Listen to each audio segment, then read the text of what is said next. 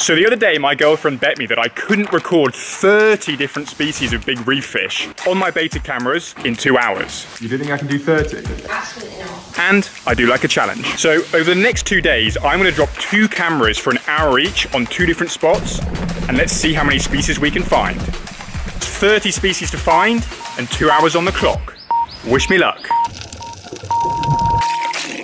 So the first fish of the day was this orange lined trigger that somehow managed to find a big scrap of fish that must have fallen out of the bait cage.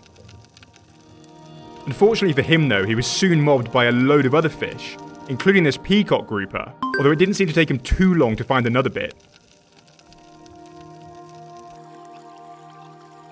There was also a massive school of humpback snappers swimming around, and they were accompanied by a pair of raccoon butterfly fish, so named because, well, they look like raccoons.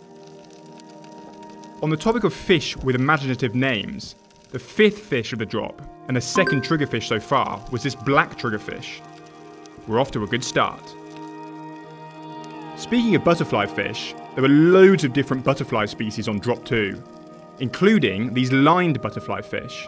These are fairly common on the reefs here. Spots 7 and 8 go to these two species of unicorn fish, the spotted and the humpback. I'm not 100% sure what species this one is, but I'm going to assume is a juvenile spotted for now. There was also another fish hidden amongst the unicorn fish. This guy is a hump-nosed big-eyed bream. For some reason, these guys never seem to want to get too close to the camera though. Now, when looking through the footage, I kept seeing these clouds drift past, and I had absolutely no idea what was going on until I saw this. Yes, that's right. You just witnessed a marine worm being eaten by a unicorn fish like a string of spaghetti. Gross. And it happened a few more times.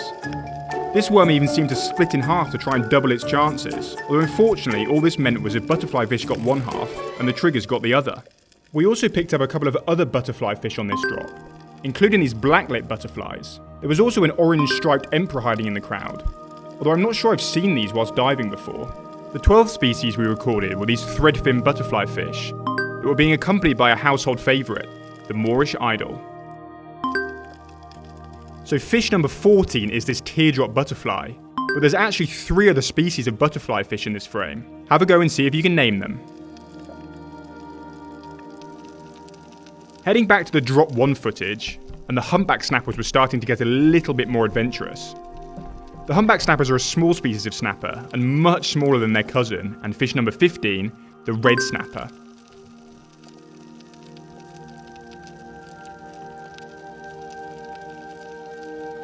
There was also a huge semicircle angelfish swimming about.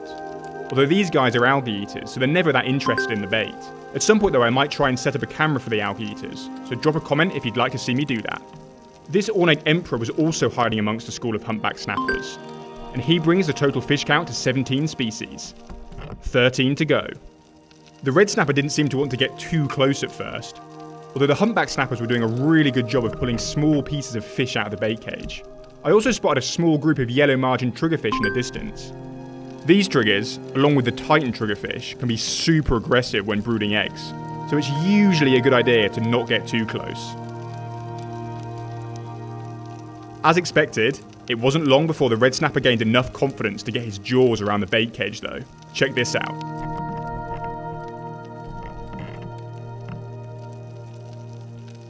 Now, I've had some bad experiences with these red snappers in the past, so I always get a little bit nervous when they turn up. Check this out.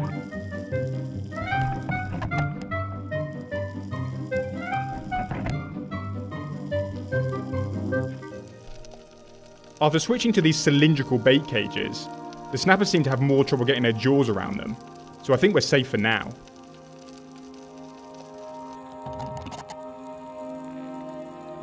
All of a sudden, the red snapper got a bit nervous, and a big fish emerged from the blue. This guy is a big blubber snapper, and they're definitely king of the snappers, at least here anyway. Lurking behind the blubber snapper is species number 20, and our second grouper so far. This guy is a redmouth grouper, although he didn't seem to want to get close enough for us to get a good view. You can see how the humpbacks and the red snapper are very wary of the blubberlip. This one is pretty big though, at around 80 centimeters long.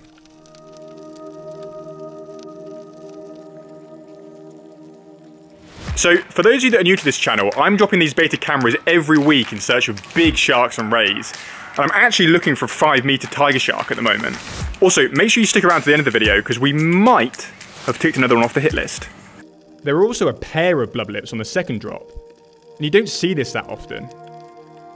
Given how heavily these areas are fished, it's nice to know that there are still big snappers swimming around in the shallows. Similarly to the red snapper, it took the blubberlip a little bit of time to get his confidence up. But after a few close-ups, he too started chomping down on the bait cage.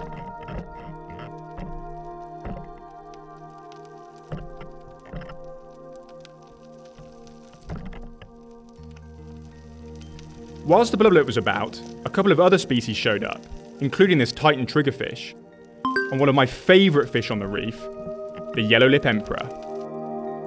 As before, no prizes for working out how this one got his name. The cool thing about the yellow lips is that you almost never see them whilst diving, but usually always on the cameras, so they're clearly very smart. A couple of double spotted queenfish swam through the top of the screen, but we got a much better clip on the second drop. These fish can often be seen in small schools around the coast and are related to the jacks and trevallies. Now there's so many species of fish in this next clip that I thought we'd do a little competition. So 30 seconds on the clock, see how many species you can name, and I'll flash my score up at the end.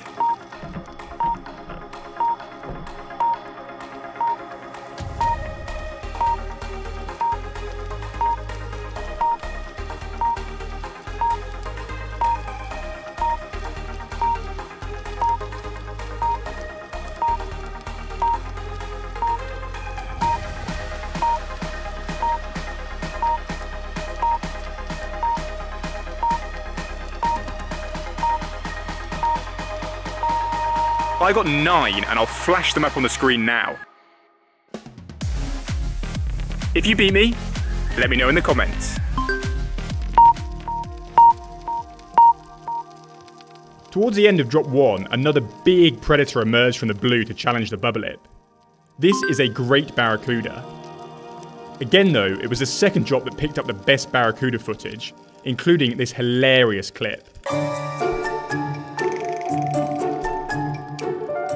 There's a few different species of barracuda on these reefs, but the great barracuda can be identified by their large underslung jaw and the black blotches on their flanks. These guys are pretty small ones though. Back to drop 1, and two bluefin trevally turned up to check out the camera before we hit the end of the hour. The trevallies always turn up, but never seem to want to hang around for long.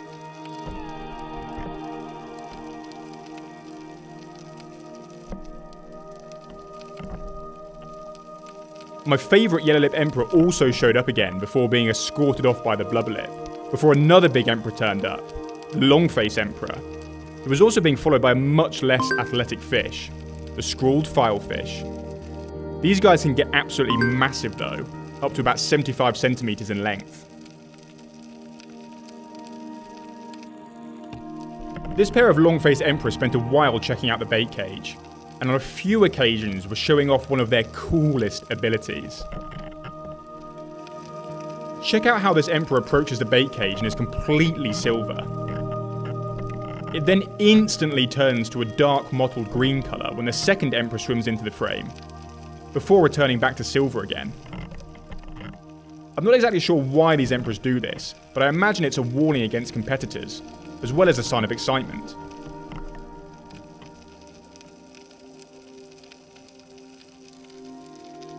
Other emperors go through similar colour changes as well. Check out how this yellow lip emperor also changes to a dark green colour, before returning to silver and swimming off.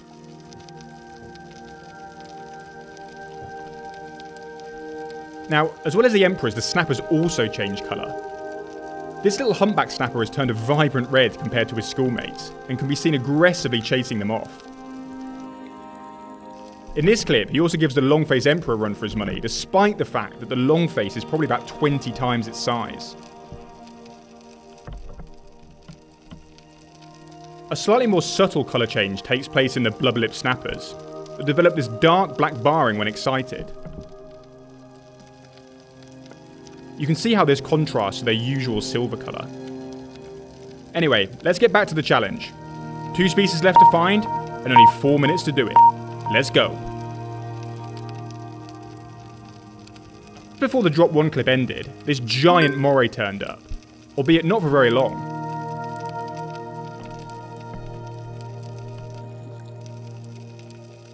If you watch closely, you can actually see this moray being chased off by the Titan triggerfish.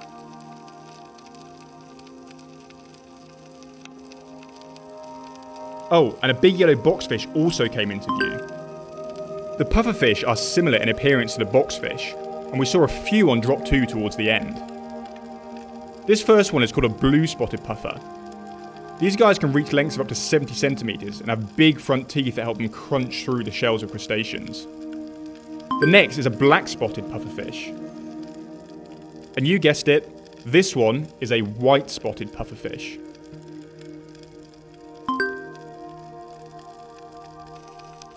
Now, although I wouldn't class these as a big reef species, we did also pick up some fantastic footage of a school of convict tangs.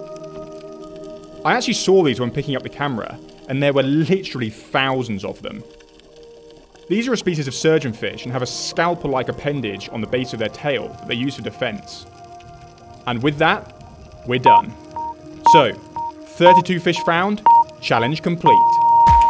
So, whilst I was recording this video, I actually dropped another camera on a slightly different spot, and as I hinted at earlier, we actually managed to record a new species on the hit list.